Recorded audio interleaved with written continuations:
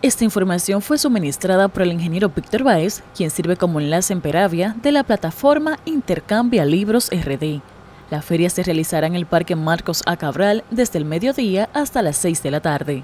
Invitamos a toda la población banileja a participar de la decimoava Feria de Donaciones de Libros que organiza la plataforma Intercambios de Libros RD, la cual viene desde el 2020 donando libros mensualmente en una ciudad diferente eh, a diferentes jóvenes y adultos que visitan la feria donde se donan más de 2.000 libros. En esta ocasión le estaremos recibiendo el día de mañana en Baní, en el Parque Central, porque la plataforma Intercambia Libros RD cree en la cultura y la educación y el apoyo a través de donaciones de libros. Así que lo esperamos por allá, eh, cita y vamos a leer.